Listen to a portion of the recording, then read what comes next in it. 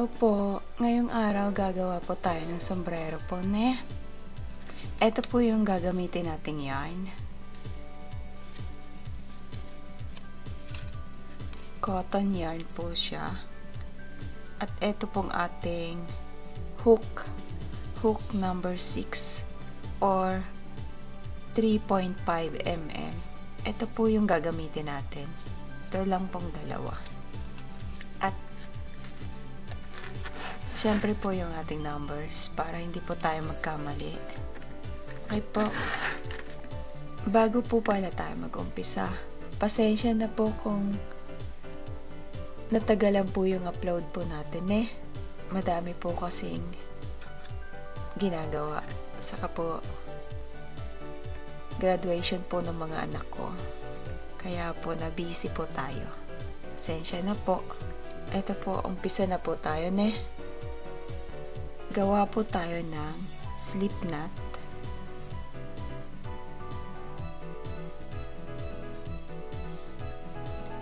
Chain 9. 1, 2, 3,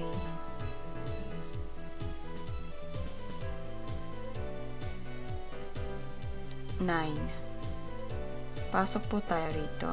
Second stitch. Single crochet po tayo.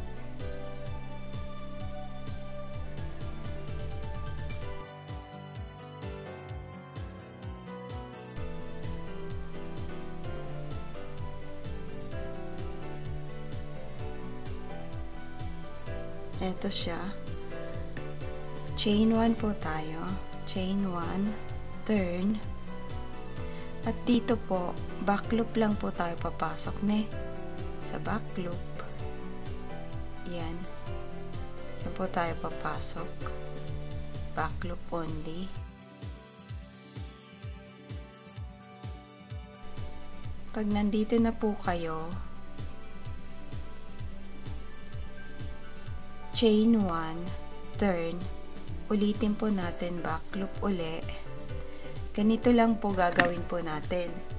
Hanggang po makarating po tayo dun po sa sukat kung sino po yung gagamit po nitong ating sombrero po ni. Kung sa inyo po, kung kayo po yung gagamit, dapat po yung haba po nito kasukat po doon sa ulo nyo. Isusukat nyo po paikot sa ulo nyo po ne. Wala po tayo ritong rounds kung ilang rounds po siya. Basta po yung sukat niya, depende po sa gagamit. Okay po? Paulit-ulit lang po ito hanggang po makarating po tayo sa sukat na gusto nyo po ne. Pag nandun na po kayo, magkita-kita po tayo. Okay po?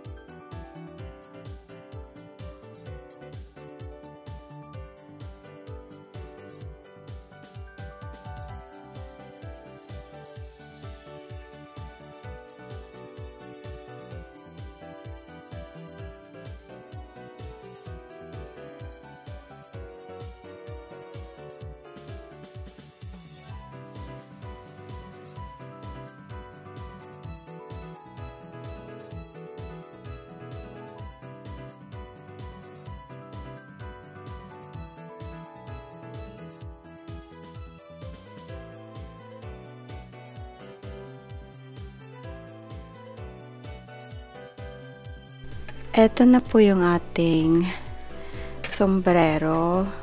Tapos na po tayo. Eto po siya. Madali lang po siyang gawin, di ba po? Sana po nagustuhan niyo po yung video natin sa araw na to. Pasensya na po kung natagalan po yung upload po natin ng bagong video po, ne? Kasi po masyado pong busy. Abalang-abala po kami. Sabay pong nag-graduate yung yung college ko at yung aking junior high school. Kaya po, masyado pong busy. Hindi po tayo nakapag-upload. Pasensya na po. Ito po yung ating bagong upload po ngayon. Sana po magustuhan nyo po yung video natin sa araw na to. Salamat po. Ja, mata ne. Arigato. Bye.